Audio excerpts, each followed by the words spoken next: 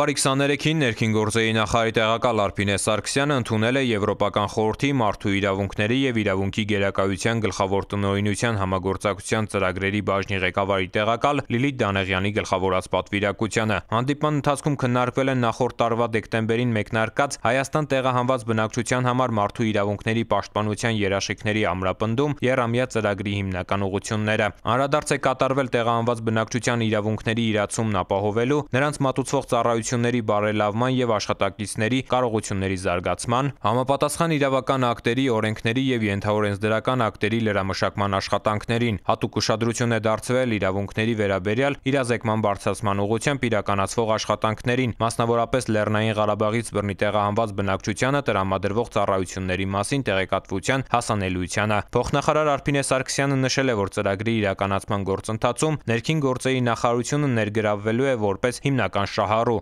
միգրացիոն քաղաքականության եւ օրենսդրության մշակման ոլորտում իրավական գործիքակազմի ներդրումը ներքին գործերի նախարարության գործառույթների շրջանակում է։ Հանդիպման ավարտին կողմերը պայմանավորվածություն են ձեռք բերել ծրագրի շրջանակում առավել ակտիվ համագործակցության վերաբերյալ։ 2000 թվականի նոյեմբերի 15-ին միավորված ազգերի կազմակերպությունն ընդունեց անդրազգային կազմակերպված հանցավորության դեմ կոնվենցիա, որին Հայաստանը միացավ 2003 թվականին։ Մեր իրավապահները բացահայտել են այդ կոնվենցիայի չափորոշիչներին համապատասխանող կայուն եւ միավորված անդրազգային հանցավոր կազմակերպություն։ Այս առումով սա աննախադեպ բացահայտում է։ Քրեական ոստիկանության գլխավոր վարչության կիբերհանցագործությունների դեմ պայքարի բաժնում անդրազգային հանցավոր գործունեության վերաբերյալ օպերատիվ տեղեկությունները ստացվել էին դեռևս 2023 թվականին։ Ըստ տեղեկությունների Հայաստանի պետական ռեգիստրում աշխատանքի տեղավորման եւ ծրագրային ապահովման գործունեություն իրականացնելու ներքո քողարկված ընկերություններ կառավարվելով օտարերկրյա քաղաքացիների կողմից Երևան քաղաքի տարբեր հասցեներում գործող գրասենյակային նշանակության տարածքներում ստեղծել են համակարգչային տեխնիկայի հագեցվածությամբ զանգերի կենտրոն։ Հանցավոր մեխանիզմի բացահայտման նպատակով գործի դրվեց կիբերհանցագործությունների դեմ պայքարի բաժնի գրեթե ողջ զինանոցը։ Որոշիչ էր նաև միջազգային համագործակցությունը եվրոպական պետությունների իրավապահ կառույցների հետ, քանի որ ըստ տեղեկությունների հանցավոր սխեմայում ներգրավված էին ինչպես Հայաստանի Հանրապետության, այնպես էլ այլ պետությունների քաղաքացիներ, որոնք տիրապետելով օտար լեզուների իրականացրել են համացանցային հեռախոսազանգեր օտարերկրյա պետություններում գտնվող անձանց եւ նրանց առաջարկել շահութաբեր ներդրումներ։ Ընդ որում հանցավոր խմբի մասնակիցները պատրաստել եւ գործարկել են կեղծ կայքեր, որոնք ակտիվորեն գովազդել են տարբեր սոցիալական ցանցերում, դրանցում նշելով ներդրումների բարձր եկամտաբերությունը եւ գործընթացի པարզությունը, արդյունքում մոլորության մեջ գցելով օտարերկրյա քաղաքացի տարբեր անձանց եւ չարաշահելով նրանց վստահությունը հանցավոր խմբի անդամները հապշտակել են խոշոր չափերի գումարներ։ Ձեռնարկված լայնածավալ օպերատիվ հետախուզական միջոցառումների արդյունքում ստացվեցին տեղեկություններ հանցավոր մեխանիզմում ներգրաված անձանց նրանց կեղծանունների, գործի բնույթի, ինչպես նաև հանցավոր կազմակերպություններում դերաբաշխման մեխանիզմի վերաբերյալ։ Ըստ տեղեկությունների, Հայաստանում գործող հանցավոր կազմակերպությունները ղեկավարվում էր մի շարք անձանց կողմից, այդ թվում օտարերկրացիներ եւ Հայաստանի քաղաքացիներ։ Ստացված տեղեկությունների հիման վրա քնչական կոմիտեի հատուկ կարևորագույն գործերի քննության գլխավոր վարչությունում նախաձեռնվեց քրեական վարույթ նախաձեռնված վարույթի շրջանակներում իրականացված օպերատիվ հետախուզական եւ վարույթային այլ գործողությունների արդյունքում ողջվել է, որ Հայաստանի Հանրապետության եւ արտերկրի մի շարք բնակիչների կողմից համակարգչային հապշտակություններ, առանձնապես խոշոր չափերի փողերի լվացում եւ կեղծ ձեռնարկատիրություն իրականացնելու նպատակով 2022 թվականի մարտից ստեղծվել եւ ղեկավարվել է հանցավոր անդրազգային կազմակերպված խումբ Անցած տարվա դեկտեմբերի 8-ին Երևանի տարբեր հասցեներում իրականացվեցին խուզարկություններ։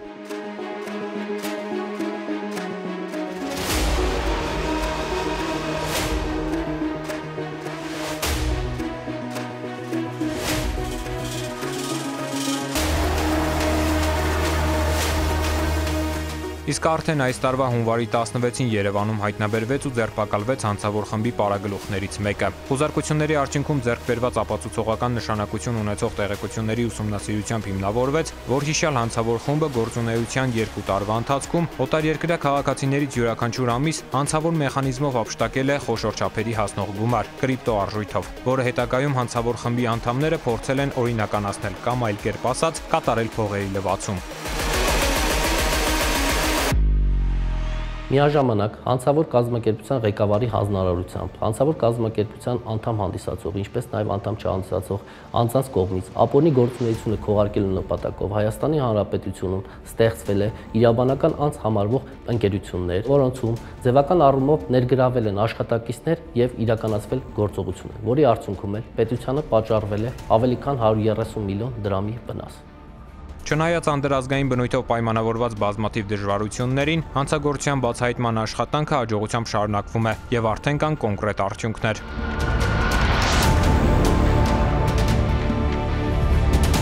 Հանցանքի կատարումը վկայող հիմնավոր փաստերի հիման վրա շուրջ 20 անձի մասով միջնորդություն է ներկայացրել դատախազին հանրային քրեական հետապնդում հարուցելու վերաբերյալ, որը դատախազի կողմից բավարարվել է։ Այժմ ոստիկանությունն իրականացնում է ակտիվ համագործակցություն եվրոպական երկրների կիբերհանցագործությունների գծով իրավապահ մարմինների հետ հանցավոր գործունեությունից տուժած անձանց հայտնաբերելու ուղղությամբ։ Բացահայտումն ամբողջացնելու ուղղությամբ շարունակվում են նաև միջոցառումները Հայաստանում։ Այս անդրազգային հանցավոր կազմակերպությանն անդամակցած կամ որևէ կերպ աջակցած անձանց հորդորում ենք ներկայանալ ինքնակամ քնչական կոմիտե կամ ոստիկանություն։ Նման ներդրումային խիստ շահավետ առաջարկներ արտասահմանից համացանցի միջոցով կարող են ստանալ նաև մեր քաղաքացիները։ Հորդորում ենք անտեսել նման գայթակղիչ առաջարկները, որ երկրից էլ դրանք տարածված լինեն։ Եվ քանի որ անդրազգային ներդրումային խարդախության դեմ պայքարում տարբեր երկրների իրավապահների միջև համագործակցությունը զարգանում է, կասկածելի առաջարկ ստանալու դեպքում խնդրում ենք դիմել իրավապահներին։ Ծանուցում. Ենթադրյալ հանցանքի մեջ կասկածվողը կամ մեղադրվողը համարվում է անմեղ, քանի դեռ նրա մեղավորությունը ապացուցված չէ Հայաստանի Հանրապետության քրեական դատավարության օրենսգրքով սահմանված կարգով, դատարանի օրինական ուժի մեջ մտած դատավճռով։ Հունվարի 16-ին ժամը 22:45-ին ոստիկանության օպերատիվ կառավարման կենտրոն է զանգահարել անայդ քաղաքացի եւ հայտնել, որ Բագրատունյաց փողոցի մի բակում լսվել են կրակոցի ձայներ։ Հնարավոր է մեքենայից գազի արտահոսք լինի։ Հաղորդումը փոխանցվեց ոստիկանության Շենգավիթի բաժին, որտեղից օպերատիվ խումբ մեկնեց նշված վայր։ Շուտով տեղ հասան նաև ոստիկանության Երևան քաղաքի վարչության ղեկավարներ, քննիչ ու փորձագետ։ Գազի արտահոսք չկար, սակայն պարզվեց, որ անայտ անձը կրակոցներ է արձակել Բաքում կայանված Lexus Magnishimi մեքենայի ուղությամբ, որի մեջ այդ պահին գտնվել է ավտոտերը։ Դեպքի վայրի զննությամբ հայտնաբերվեց 4 պարկուճ եւ գնդակի միջուկի զանգվածին նմանվող երկու առարկա։ Սպանության փորձի եւ ապօրինի զենք գրելու հատկանիշներով նախաձեռնվեց քրեական վարույթ։ Երևան քաղաքի վարչության եւ Շենգավիթի բաժնի քրեական հետախույզների ձեռնարկած օպերատիվ հետախուզական միջոց միջոցառումների եւ քնչական գործողությունների շնորհիվ պարզվեց, որ մեքենայատիրոջ ուղությամբ իր մոտ պահվող հրազենով կրակել է Մայրաքաղաքի Բաբաջանյան փողոցի բնակիչ 38-ամյա մի տղամարդ։ Նրան հայտնաբերելու միջոցառումները սակայն մի քանի օր արդյունք չտվին եւ 38-ամյա տղամարդու նկատմամբ հայտարարվեց հետախուզում։ Խափանման միջոցը ընտրվեց կալանքը եւ հունվարի 22-ին ժամը 15-ի սահմաններում ոստիկանների բացատրական աշխատանքից հետո հետախուզվողն ինքնակամ ներկայացավ Շենգավիթի բաժին, հետը բերելով նաեւ հանցագործյան գործիք AK-70 94 տիպի առանց գործարանային համարի ինքնաձիգը, 1 փամփշտակալ եւ փամփուշտներ։ Ինքնաձիգը ներկայացվել է քնչական բաժին, նշանակվել է փորձակնություն, արարքի դերթապաճառն ու դեպքի այլ հանգամանքները նախաքննության պարզվում են։ Ծանուցում ենթադրյալ հանցանքի մեջ կասկածվողը կամ մեղադրվողը համարվում է անմեղ, քանի դեռ նրա մեղավորությունը ապացուցված չէ Հայաստանի Հանրապետության քրեական դատավարության օրենսգրքով սահմանված կարգով՝ դատարանի օրինական ուժի մեջ մտած դատավճռով։ Ոստիկանության բարեփոխումների շրջանակում շարունակվում է քրեական ոստիկանությունում պաշտոնի նշանակվելու նպատակով մրցույթի դիմումների ընդունումը։ Դիմել կարող են ինչպես քաղաքացիական անձինք, այնպես էլ գործող ոստիկանները։ Ընդունելության համար սահմանվել է ընդհանուր 700 մրցութային տեղ։ Մրցութային տեղերի 20%-ը հատկացվել է կինդիմորտներին, ինչը կխթանի ոստիկանությունում կանանց ներգրավվածությանը։ Ընդունելության համար կարող են դիմել բարձրագույն կրթություն ունեցող Հայաստանի Հանրապետության մինչև 35 տարեկան եւ 155 սանտիմետրից ոչ պակաս հասակ ունեցող այն քաղաքացիները, որոնք առողջական վիճակով եւ ֆիզիկական պատրաստականությամբ ունակ են կատարելու ոստիկանության ծառայողի պարտականությունները։ Հարական սերի քաղաքացիներն ընդունելության համար կարող են դիմել, եթե վերոնշյալ պայմաններից բացի անցել են պարտադիր զինվորական ծառայություն, բացառությամբ օրենքով սահմանված դեպքերի։ Ոստիկանները կարող են դիմել օրենսդրությամբ սահմանված պահանջներին համապատասխանելու դեպքում։ Ուսուցումն անվճար է այն արկա ուսուցմամբ իրականացվելու է ներքին գործերի նախարարության կրթահամալիրում։ Քաղաքացիական անձանց դեպքում ուսման տևողությունը 5 ամիս է, իսկ ոստիկանության ծառայողների դեպքում 2 ամիս։ Ուսման ոչ ժամանակահատվածում քաղաքացիական անձինք ստանալու են նվազագույն աշխատավարձի չափով վարձատրություն, իսկ ոստիկանության ծառայողները ուսման նպատակով գործուղված ոստիկանության ծառայողների համար օրենքով սահմանված աշխատավարձ։ Շրջանավարտները կնշանակվեն քրեական ոստիկանության ստորաբաժանումներում քրեական ոստիկանի պաշտոններում։ Կրթական այս ծրագիրն ավարտած անձինք կհամարվեն ատեստավորված եւ կստանան համապատասխան հավելավճարներ։ Դիմորդների փաստաթղթերն ընդունվում են ներքին գործերի նախարարության կրթահամալիրում հունվարի 26-ը ներառյալ։